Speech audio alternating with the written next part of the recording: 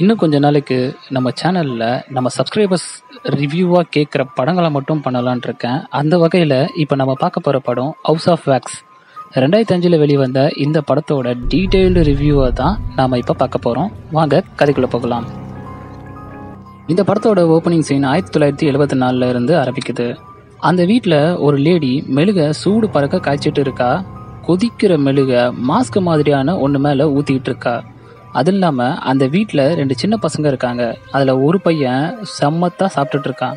ஆனால் இன்னொருத்தன் சாப்பிட அடம் பிடிச்சிக்கிட்டு இருக்கான். அதனால் அவனோட அப்பா அவன் கை காலெல்லாம் கட்டி ஒரு சேர்ல உட்கார வச்சு அவனுக்கு சாப்பாடை ஊட்ட ட்ரை பண்ணிட்டு இருக்கும் போது அவன் ரொம்ப அடம் பிடிக்கிறான். பலாருன்னு ஒரு அறை விடுறாங்க. அந்த அறைக்கு அப்புறம் என்ன நடந்துச்சு? எதுக்கு இந்த கதை ஆயிரத்தி தொள்ளாயிரத்தி எழுபத்தி நாலில் ஸ்டார்ட் பண்ணாங்க அப்படிங்கிறத படத்தோட முடிவில் நம்ம பார்க்கலாம். அந்த சீனை கட் பண்ணால் அதுக்கப்புறம் ரெண்டாயிரத்தி அஞ்சுக்கு நம்மளை கொண்டு போயிட்டாங்க. இங்கே ஒரு ஹீரோ ஹீரோயின் ஹீரோயினோட தம்பி மொரட்டு சிங்கிள் ஒருத்தன் ஒரு காதல் ஜோடின்னு மொத்தம் ஆறு பேர் இருக்காங்க. அவங்க எல்லாருமே சேர்ந்து பக்கத்து ஊரில் நடக்க போகிற ஃபுட்பால் மேட்சை பற்றி பேசிகிட்டு இருக்காங்க அங்கே போகிறதுக்காக அப்போது ஹீரோயினோட தம்பி நம்ம ஏன் இதை ஒரு ட்ரிப்பாக பார்க்கக்கூடாது? அப்படிங்கிற மாதிரி கேட்குறான் மேட்சுக்கு முன்னாடி நாளே கிளம்பி ட்ரெக்கிங் மாதிரி போகலாம் நைட்டு காட்டில் ஸ்டே பண்ணலாம். அடுத்த நாள் மேட்சை பார்த்துட்டு வீட்டுக்கு வந்துடலாமே அப்படின்னு சொல்லும்போது இந்த பிளான் எல்லாருக்குமே பிடிச்சி போக. இந்த ஆறு பேரும் ரெண்டு காரில் ட்ரிப்புக்கு கிளம்பி போயிட்டுருக்க. நைட் ஆகிடுது அதனால கேம்ப் எல்லாம் செட் பண்ணிட்டு இருக்காங்க. இவங்க குரூப்பில் ஹீரோக்கும் ஹீரோயினோட தம்பிக்கும் செட்டே ஆகாது. எப்போ பார்த்தாலும் சண்டை போட்டுகிட்டே இருப்பாங்க. இங்கேயும் அதே மாதிரி சண்டை போட ஆரம்பிக்கிறாங்க. அப்போது ஹீரோயின் வந்து ஹீரோ கிட்ட எதுக்காக எப்போ பார்த்தாலும் என் தம்பிக்கிட்டே சண்டை போட்டுட்ருக்க உனக்கு சண்டை போடணும்னு தோணுச்சுன்னா என்கிட்ட போடு என் தம்பிக்கிட்ட இனிமேட்டு அந்த மாதிரி நடந்துக்காத அப்படின்னு சொல்லும்போது ஹீரோ ஆமாம் நீங்கள் எல்லாம் சேர்ந்து தானே என்னை மாட்டி விடுறீங்க? உங்களுக்கு என்ன இதெல்லாம் புதுசா? அப்படிங்கிற மாதிரி சம்மந்தமே இல்லாமல் பேசுகிறான் அப்போ ஹீரோயின் நானா என்ன பண்ண உன்னை? நீ தான் அன்னைக்கு திருட்டுக்கார எடுத்துகிட்டு வந்து நம்ம வீட்டுக்கு முன்னாடியே நிறுத்தின. அப்போ போலீஸ் வந்துருச்சு. நானும் என் தம்பி எப்படியும் உன்னை காப்பாற்றலாம் ட்ரை பண்ணும் போது நீ தானே நடுவில் வந்து மாட்டிக்கின. அதுக்கு நாங்கள் என்ன பண்ண முடியும்? அப்படின்னு சொல்லி அந்த சீனை அப்படியே முடிக்கிறாங்க. அப்போது அவங்க இருந்த இடத்துக்கு ஒரு கார் வருது. அந்த கார் காரோட ஹெட்லைட் இவங்க எல்லாரும் முன்னாடியும் பளிச்சுன்னு அடிக்குது. இவங்க எல்லாருமே சொல்றாங்க ஹெட்லைட் ஆஃப் பண்றா ஆஃப் பண்றான்னு எவ்வளோ கத்துனாலும் அந்த ஹெட்லைட்டை ஆஃப் பண்ண மாட்டேங்கிறான். இவங்க இந்த மாதிரி கத்திக்கிட்டே இருக்கும் போது ஹீரோயினோட தம்பி தான் கையில இருந்த பீர் பாட்டில தூக்கி எறிகிறான். அது காரோட ஹெட்லைட்ல பட்டு அந்த கண்ணாடி உடஞ்சிருது. அது உடஞ்ச கொஞ்ச நேரத்துல அந்த காரை எடுத்துக்கிட்டு கிளம்பிடுறான். ஆப்போசிட்ல இருக்கிறவன். அது யாருன்னே இவங்களுக்கும் தெரியல. இங்க இவ்வளவு பிரச்சனை நடந்துட்டு இருந்தாலும் நம்ம முரட்டு சிங்கிள் இருக்காருல்ல அவர் மட்டும் தான் கையில இருந்த கேமரால இங்க நடக்கிற எல்லாத்தையுமே ஷூட் பண்ணிக்கிட்டு இருக்கான். இந்த பிரச்சனை எல்லாம் முடிஞ்சதுக்கு அப்புறம் கேமராவை எடுத்துட்டு போய் ஒரு ஓரமா வச்சு எல்லாருமே தூங்க ஆரம்பிக்கிறாங்க. ஏன்னா அடுத்த நாள் காலையில ஃபுட்பால் மேட்ச்சுக்கு போகணும். இப்படி தூங்கிட்டதுக்கு அப்புறம் இவனோட கேமராவை இவனுக்கே தெரியாம யாரோ ஒருத்தர் எடுத்து இவங்க தூங்குற எல்லாத்தையுமே அதுல ஃபுட்டேஜா ரெடி பண்ணிக்கிட்டு இருக்காங்க. வீடியோ ரெக்கார்ட் பண்ணிட்டு இருக்காங்க. இப்ப விடிஞ்சிருச்சு. இப்ப எல்லாருமே சேர்ந்து ஃபுட்பால் மேட்சுக்காக கிளம்பிட்டு இருக்காங்க. இப்படி ஒவ்வொருத்தரா ஃபுட்பால் மேட்சுக்கு கிளம்பலான்னு கிளம்பிட்டு இருக்கும் போது அங்க ஒரு பிரச்சனை ஆகுது என்னன்னா ஹீரோ ஓட்டிட்டு வந்த காரு ஏதோ புகஞ்சுக்கிட்டு இருக்கு. என்னன்னு பார்த்தா அதுக்குள்ள ஏதோ பெல்ட் இருந்துருச்சு. ஏதோ ஒரு பிரச்சனை அதுக்கு நம்ம வந்து ஸ்பேர் பார்ட்ஸ் நம்ம வாங்கி ஆகணும். வாங்கினா தான் அந்த காரை எடுக்கவே முடியும்னு சொல்லிட்டு பேசிகிட்டு இருக்காங்க. அந்த நேரத்தில் இந்த பொண்ணுங்க எல்லாருமே சேர்ந்து அவங்களோட காலை கடன் வேலைகளை முடிக்கணும்னு சொல்லிட்டு ஒரு ஓரமாக ஒதுங்குறாங்க. அந்த ரெண்டு பொண்ணுல ஒரு பொண்ணு ஒரு பள்ளத்துக்குள்ள உள்றா அங்கே உளுற இடத்துல பார்த்தா ஏகப்பட்ட செத்து போன மானு அந்த விலங்குகள் அப்படி இப்படின்னு நிறைய கிடைக்குது. அதுல இருந்து ஒரு மாதிரியான நாத்தம் அடிச்சுக்கிட்டு இருக்கு. கீழே விழுந்தாவ காப்பாத்துங்க காப்பாத்துங்கன்னு கேட்கும் போது இந்த ஒரு பொண்ணால அதை காப்பாற்ற முடியல. அதனால கூட இருக்கிற எல்லாரையுமே கூப்பிடுறாங்க பசங்க எல்லாருமே இப்போ வந்துட்டாங்க. வந்து இவளையும் காப்பாத்திடுறாங்க.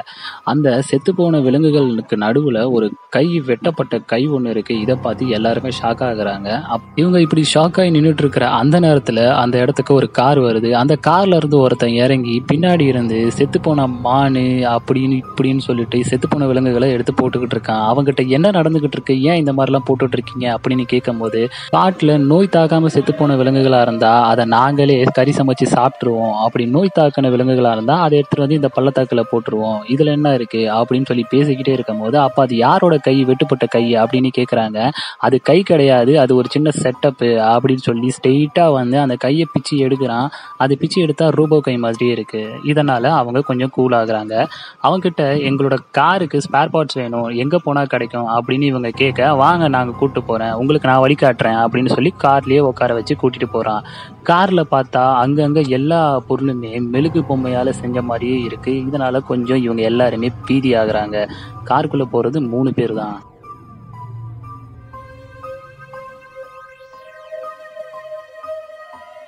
என்னையா இது? கடைக்கு கூட்டு போறேன்னு சொல்லி நடுவுலயே நிறுத்தி விட்டிய அப்படின்னு கேட்கும்போது இதுக்கப்புறம் கார் போகாது நீங்க நடந்தாவே மெயின் ரோடு வந்துடும் அப்படின்னு இறக்கி விட சரி அதுவும் சூப்பர் தான். உன் கார்ல பயந்து பயந்து போறதுக்கு நான் நடந்தே போயிடுவேன் அப்படின்னு சொல்லி இறங்கி நடந்து போறாங்க. ஒரு நாலு ஸ்டெப்பு வச்சோடனே மெயின் ரோடு வந்துடுது மெயின் ரோடு வந்ததுக்கு அப்புறம் ஆப்போசிட்ல பார்த்தா நிறைய கடைங்க இருக்கு.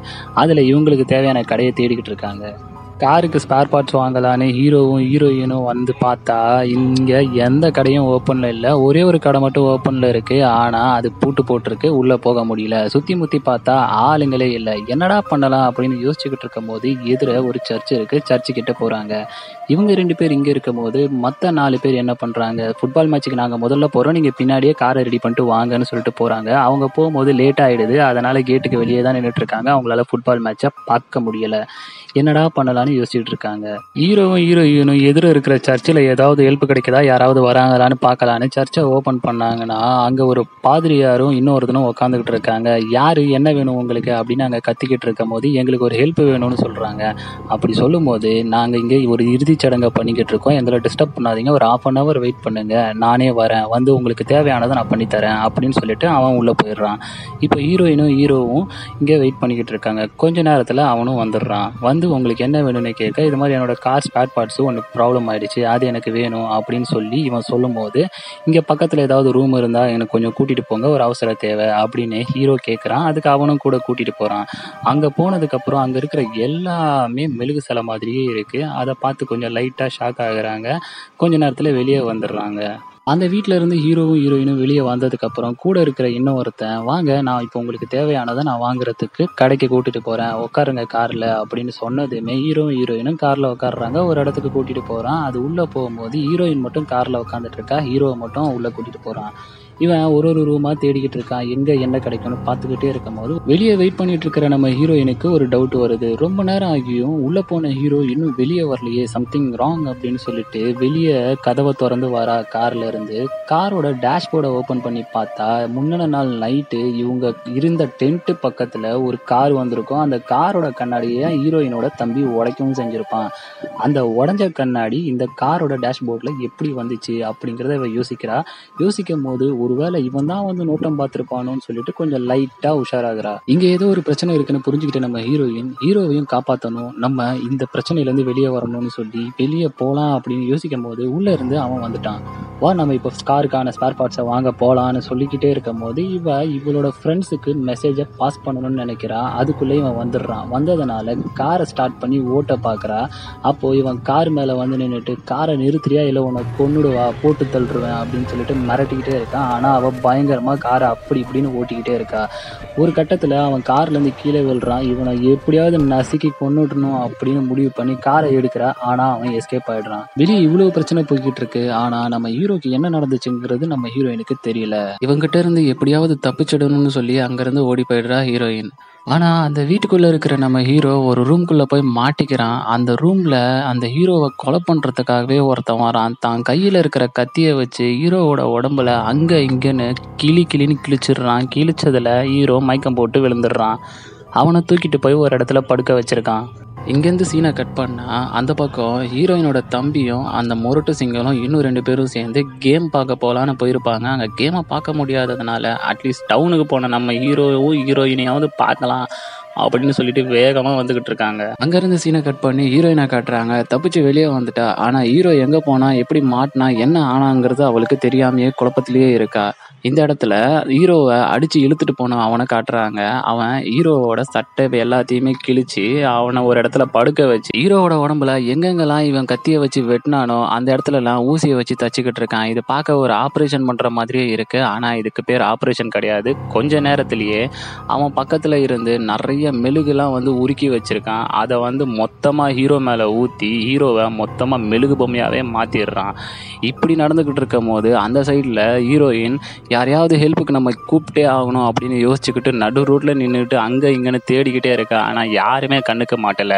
அப்புறம் தான் ஒரு வழியாக அவளுக்கு ஞாபகம் வருது. காலையில் நம்ம சர்ச்சுக்கிட்ட போனோம். சர்ச்சில் நிறைய பேர் இருந்தாங்க. அவங்கக்கிட்ட ஹெல்ப் கேட்கலாம் அப்படின்னு சொல்லிட்டு சர்ச்சுக்குள்ளே போகிறா சர்ச்சுக்குள்ளே போய் பார்த்த நம்ம ஹீரோயினுக்கு ஒரு ஷாக் என்னடான்னா அங்கே இருந்த உருவங்கள் எல்லாமே மனுஷங்க தான். ஆனால் அவங்கள கொன்று மெழுகால உருக்கி அவங்கள மெழுகு பொம்மையாக மாற்றி வச்சிட்டு இருக்காங்க ஹெல்ப்னு கேட்டு வந்த இவ ஒருத்தர்கிட்ட எனக்கு ஹெல்ப் பண்ணுங்க அப்படின்னு கேட்டு அவரோட கையை பிடிச்சி இழுக்க அந்த கை பிச்சுக்கிட்டு உழுது ரத்தமும் சதையுமா வந்து தொங்குது. இதை பார்த்து பயந்து போன அவ ரொம்ப கத்திடுறா.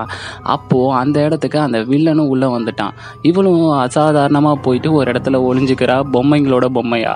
அவன் வந்து அங்கே இங்கேன்னு தேடி ஒரு வழியாக அவளை கண்டு கண்டுபிடிச்சிடுறான். இவன் எங்க ஒளிஞ்சிட்டு இருந்தான்னு பார்த்தீங்கன்னா அந்த பாதிரியார் மாதிரி ஒருத்தர் இருந்தார்ல அந்த பாதிரியாரோட கவுனுக்குள்ள தான் போய் ஒளிஞ்சிட்டு இருக்கா. இருந்தாலும் தப்பிச்சு ஓடலான்ட்டு இவ வெளியே ஓடியார பார்க்குற அவளை ஒரே போடு போட்டு அவளையும் அங்க இருந்து தூக்கிட்டு போயிடுறான்.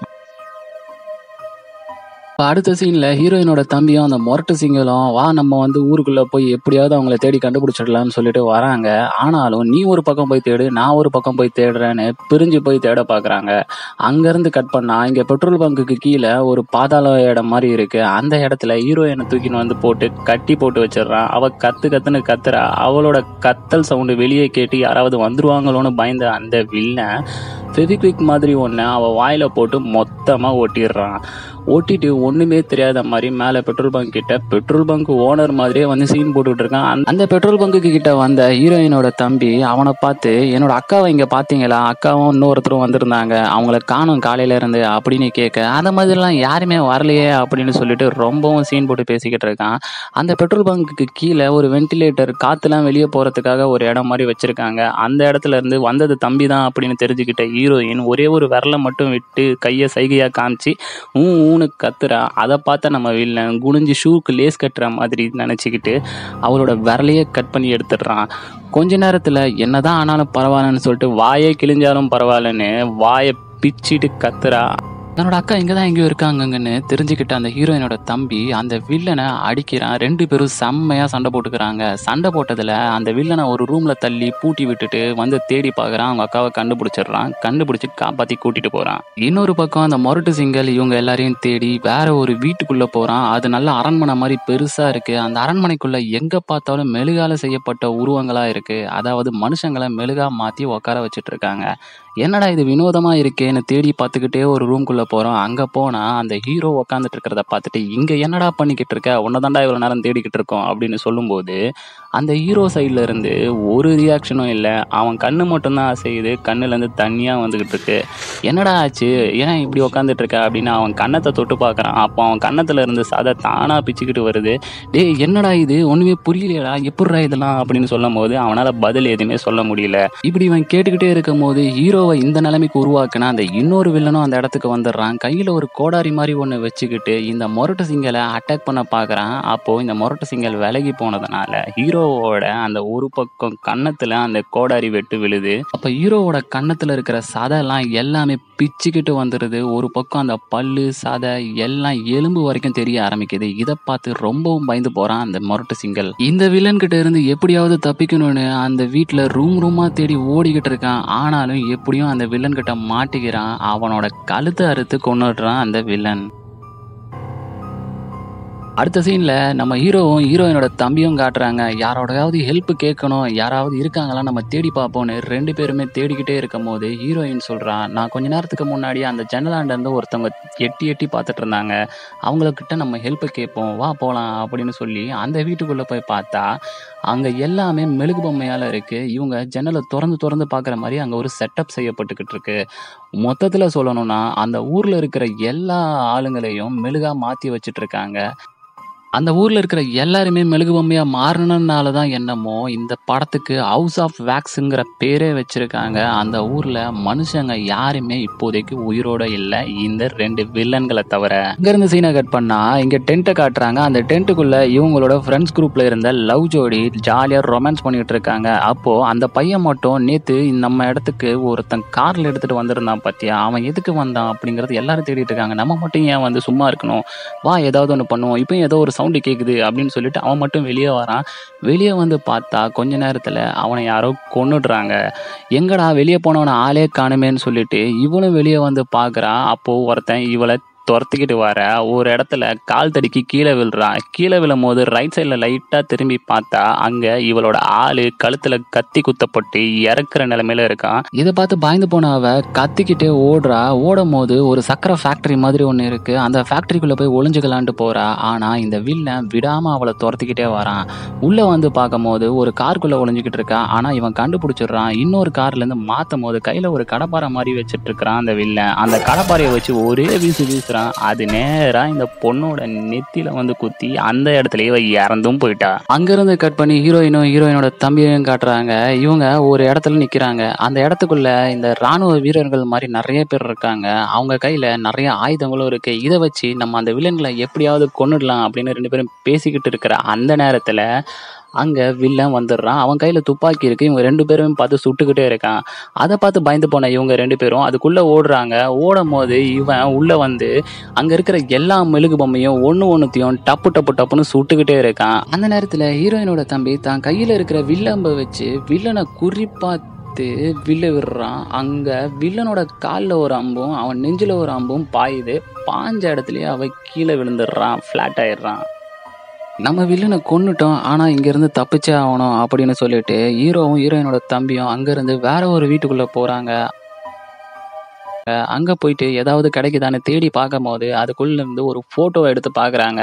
அந்த ஃபோட்டோவில் ஒட்டி பிறந்த ரெட்ட குழந்தைங்களோட ஃபோட்டோ இருக்குது அந்த குழந்தைங்களை பிரித்து எடுத்தது தான் நம்ம ஆரம்பத்தில் பார்த்த அந்த வில்லன்களோட அப்பா.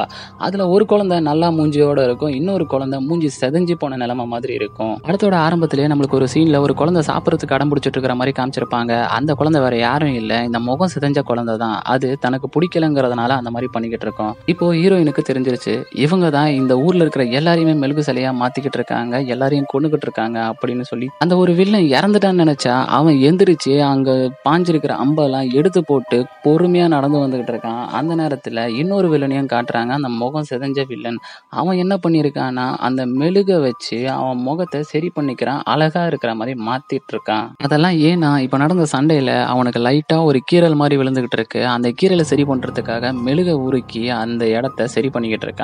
அங்க வந்த இன்னொரு வில்லன் டே தம்பி நம்மளோட நோக்கத்தை நம்ம நிறைவேற்றிக்கிட்டே இருக்கோம். இந்த ஊர்ல இருக்கிற எல்லாருமே நம்ம மெழுகு சிலையா மாத்திட்டோம். நம்மளோட அம்மாவோட ஆசையை நிறைவேற்றிக்கிட்டே இருக்கோம். இன்னும் சில பேர் தான் இருக்காங்க. வா அவங்களையும் நம்ம கொண்டுடலாம் அப்படின்னு சொல்லி பேசிக்கிட்டே கொஞ்சம் தூரம் நடந்து போனா. நம்ம ஹீரோயின் இவங்க ரெண்டு பேரும் குழந்தையா இருக்கும் போது இருந்த போட்டோவை எடுத்து பார்த்துட்டு இருப்பா ஆனா அதை டிராக்குல போடாம கீழே போட்டு போயிட்டு இருக்கா இதை பார்த்த இந்த வில்லன் இவங்க ரெண்டு பேரும் இங்க தான் இருக்காங்க. இவங்களை எப்படியாவது கொண்டுடணும்னு தேடி தேடி பார்த்துக்கிட்டு இருக்கான். இப்போ அந்த ரெண்டு வில்லன்களும் ஹீரோயினையும் ஹீரோயினோட தம்பியும் தேடிக்கிட்டு இருக்காங்க. இவங்க ஆனா அவங்க ரெண்டு பேரும் வேற ஒரு ரூம்குள்ள இருக்காங்க. அந்த இடத்துல ஒரு அதிர்ச்சியான விஷயத்த பாக்குறாங்க. என்னடானா அந்த லவ் ஜோடிங்க இருக்காங்கல்ல ஒருத்தனை வந்து கழுத்துல குத்தப்பட்ட நிலைமையில கொண்டுட்டு இருப்பாங்க இன்னொருத்திய நெத்தியில கடப்பாரியை வச்சு குத்தி கொண்டு இருப்பாங்க அப்படி இறந்து போன அந்த காதல் ஜோடிகளை ஒரு வண்டியில போட்டு எடுத்துட்டு வந்து வெளியே நிக்க வச்சிருப்பாங்க. அதை நம்ம ஹீரோயின் பாக்குறா. கொஞ்ச நேரத்துல இன்னொரு ரூமுக்கு போறா. அங்க இவனோட ஃப்ரெண்டு அதாவது அந்த மொரட்டு சிங்கல் இருக்கான் பாத்தீங்களா அவனை ஒரு மெழுகு சேலை மாதிரி ரெடி பண்ணி வச்சிருப்பாங்க. அவனோட கண்ணும் அசைஞ்சுக்கிட்டே இருக்கும். அது இல்லாமல் அவனோட கண்ணு நீலக்கல்ல இருக்கிறதுனால தான் அது அவன் தான் கன்ஃபார்ம் பண்ணிடுறாங்க. உன்னை எப்படியாவது காப்பாத்திடுறேன்னு சொல்லி ஹீரோயினோட தம்பி அவன் தலையை பிடிச்சி வெளியே இழுக்க தலை தனியாக கையில் வந்துடுது அதனால ரொம்ப பயந்து போய் அவங்க அந்த இடத்த விட்டு வெளியே போறாங்க. ஹீரோயின் கத்ரா. அந்த இடத்துக்கு கரெக்டா அந்த பாதி மூஞ்சிக்காரன் உள்ள வந்து இவ தம்பியை போட்டு அடி அடின்னு அடிச்சுக்கிட்டே இருக்கான். இவளும் கட்டையை வச்சு அவன் மண்டையிலே ஓங்கி ஒன்று போடுறான். ரெண்டு பேரும் தப்பிச்சு போகலான்னு பார்க்கும் போது அந்த இடம் அப்படியே தீ பத்திக்குது. அங்கே ஒரு பெரிய சைஸ் அண்டா மாதிரி ஒன்று இருக்குது அதில் தான் இந்த மெழுகெல்லாம் திரவமாக மாற்றிக்கிட்டு இருக்காங்க. அந்த தம்பிக்காரன் என்ன பண்ணுறான்னா அதை கவுத்து விட்டுறான். கவுத்து விட்டோன்னே அந்த இடம் ஃபுல்லாக தீ பற்றிக்குது அது எல்லா இடமும் மெழுகாலேயே செய்யப்பட்டிருக்கிறதுனால இன்னும் வேகமாக வந்து தீ பரவிக்கிட்டே இருக்குது இவங்க ஒரு வழியாக கீழே வராங்க. கீழே வரும்போது அந்த நல்ல மூஞ்சி வில்லன் ஒருத்தன் வந்துடுறான். அவனும் அந்த தம்பிக்காரனும் ஓவராக சண்டை போட்டுக்கிட்டே இருக்காங்க. அந்த நேரத்தில் ஒரு பெரிய கட்டையை எடுத்து அந்த வில்லன் மூஞ்சிலேயே அடி அடி அடி அடின்னு அடித்து அவனை கொண்டுடுறா நம்ம ஹீரோயின் இந்த சண்டையில் ஹீரோயினோட தம்பிக்கு காலில் கத்தி குத்துப்பட்டுருது. அதனால் அவனால் எந்திரிக்கவே முடியலை. அப்போது அந்த இடத்துக்கு வர அந்த செத்து போன வில்லனோட தம்பி அதாவது பாதி மூஞ்சிக்காரன் ஹீரோயினை கொல்றதுக்காக விரட்டிக்கிட்டே போகிறான் ஹீரோயினும் மேலே ஒரு இடத்துக்கு ஓடுறா. ஆனால் இவனோட தம்பிக்கு காலில் வெட்டுக்காயம் பட்டதுனால ஒரு காலில் தாங்கி தாங்கி நடந்து பின்னாடியே வந்துக்கிட்டு இருக்கான். ஹீரோயின் ஒரு ரூம்குள்ளே போகிறான் அந்த ரூம்குள்ளே போயிட்டு எல்லா கதவையும் அடைக்கிறா. ஆனால் அந்த ரூமும் மெழுகாலேயே செய்யப்பட்டதுனால அந்த வில்லன் லைட்டாக அவன் கத்தியை வச்சு ஒரு கோடு தான் போடுறான். அந்த செவுரே ஓப்பன் ஆகிடுது அவன் உள்ளே வரான். இப்போ அந்த மொத்த இடமும் மெழுகால செய்யப்பட்டதுனால கொஞ்சம் கொஞ்சமாக உருகிட்டே இருக்கு. இந்த வில்லனும் உள்ளே வரான். அவன் மூஞ்சும் மெழுகால தான் செய்யப்பட்டிருக்கும். அதனால் அவன் மூஞ்சும் கொஞ்சம் கொஞ்சமாக உருகிட்டே இருக்கு. இந்த ஹீரோயினை கொல்றதுக்கு அவன் முன்ன வரும்போது அவன் தம்பி வந்துடுறான். ரெண்டு பேருமே சண்டை போட்டுக்கிட்டே இருக்காங்க. ஹீரோயின் கிட்ட என்னை எப்படியாவது காப்பாத்துன்னு அவன் தம்பிக்காரன் சொல்லும் போது ஹீரோயினும் தன் கையில கிடைக்கிறதெல்லாம் தூக்கி அவன் மேல அடிச்சுக்கிட்டு இருக்கா. கடைசியா தன்னோட தம்பி காலில் இருக்கிற வெட்டுக்காயம் பட்ட இடத்துல இருந்த அந்த கத்தியை எடுத்து அந்த வில்லனோட மூஞ்சிலேயே குத்து குத்து குத்து குத்துன்னு குத்தி உடம்புல குத்தி அவனை எப்படியாவது கொண்டுடணும்னு சொல்லிக்கிட்டே இருக்கும் போது அந்த இடமே பிச்சுக்கிட்டு விழுது காரணம் என்னன்னா அந்த இடம் ஃபுல்லாக மெழுகால செய்யப்பட்டதுனால அந்த மேல் மாடியிலேருந்து கீழ் மாடிக்கு விழுறாங்க. ஆனால் ஹீரோயினும் ஹீரோயினோட தம்பியும் மட்டும் ஒரு ஓரமாக விழுந்துடுறாங்க. பாதி மூஞ்சிக்காரன் ஏற்கனவே செத்து போன அவங்க அண்ணனோட டெட் பாடி மேலேயே உழுகுறான். இப்போ கொஞ்சம் கொஞ்சமாக அந்த வீடு ஃபுல்லாக உருகிட்டே இருக்கு. ரெண்டு வில்லனுங்களும் செத்துடுறாங்க. இது ஃபுல்லாக மெழுகால செய்யப்பட்டது அப்படிங்கிறதுனால இவங்களால ஈஸியாக தப்பிக்க முடியும். என்னன்னா அந்த செவத்தை சுரண்டி சுரண்டி அந்த மெழுகெல்லாம் எடுத்து இவங்க வெளியே வந்து தப்பிக்க பார்க்குறாங்க தப்பிக்கவும் செஞ்சிடுறாங்க. இந்த வீடு முழுக்கவுமே மெழுகால செய்யப்பட்டதுனால இங்கே தீ இருக்கு. ரொம்ப தூரத்துக்கு அந்த புகையும் நெருப்பும் தெரிஞ்சதுனால ரெஸ்கியூ டீம் அந்த இடத்துக்கு வந்துடுறாங்க.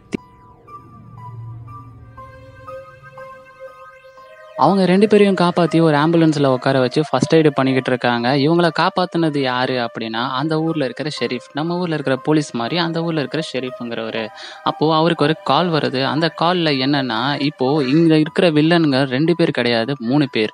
அதில் ரெண்டு பேர் செத்துட்டாங்க. அந்த அம்மாவுக்கு மூணு குழந்தைங்க. அதில் இன்னொருத்தங்க இருக்கான். அவன் எங்கே இருக்காங்கிறத நீங்கள் கண்டுபிடிக்கணும்னு சொல்லி பேசிக்கிட்டே இருக்கிறத வாய்ஸ் ஓவரில் நம்மளுக்கு இந்த படத்தில் காட்டுறாங்க.